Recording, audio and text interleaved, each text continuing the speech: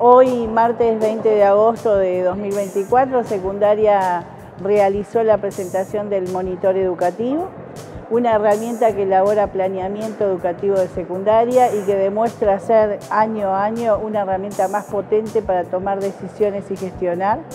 Este año tenemos como novedades la introducción de datos de los liceos habilitados, nuevos este, tipos de informes, formatos diferentes de, los informes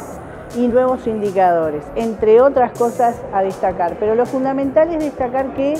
subió la promoción en la educación media básica, este, llegando casi a un 90%, en los espínolas estamos en un 90,1%,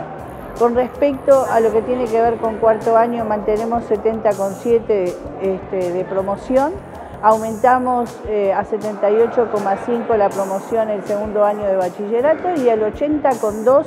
a los alumnos de tercer año de bachillerato que egresan hasta con tres asignaturas. Y eso determina que comparados con el sistema de evaluación que teníamos en el 2019, que es el mismo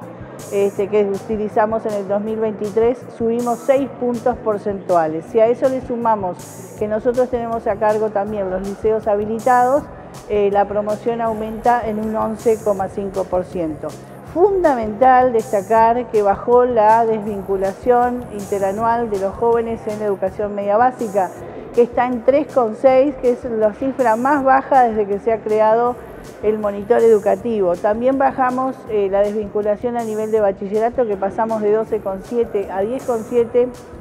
y el promedio general de desvinculación, que era de 8,4, lo bajamos a 6,2. Así que eso es una buena noticia porque implica que se está reteniendo más al alumno en el sistema educativo y eso es producto de las diversas estrategias de acompañamiento que secundaria ha venido llevando a cabo durante este tiempo.